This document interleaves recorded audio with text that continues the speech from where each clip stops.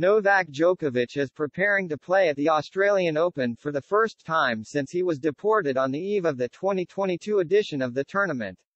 Novak Djokovic has shared his experience of returning to Australia 12 months after being deported and barred from the country. The 21-time Grand Slam champion had his ban lifted in time to return for the 2023 season and now claims he has no expectations about his crowd reception when he finally goes back to the Australian Open in search of a record 10th title.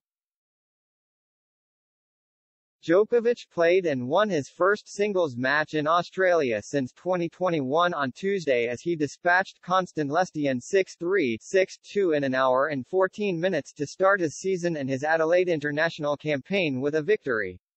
The top seed later admitted that he had been pleasantly surprised with the level of support from the crowd, as he played in front of a packed center court full of Serbian fans.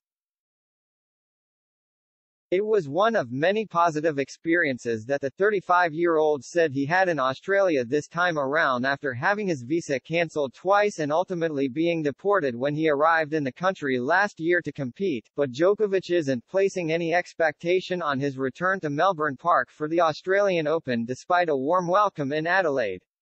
I mean, every experience and every day that I had so far my visit this year was positive, the world number 5 said after Tuesday's match.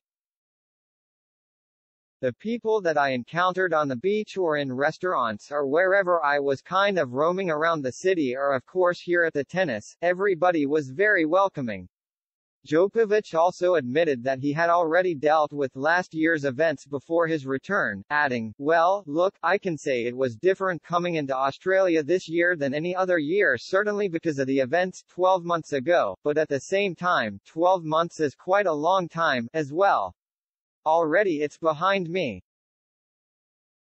I've moved on, and the nine-time Australian Open champion had even made light of last year's saga ahead of his return to the country, explaining, Well, I kind of was joking around with my team hoping that I can enter Australia this time, and that's what happened.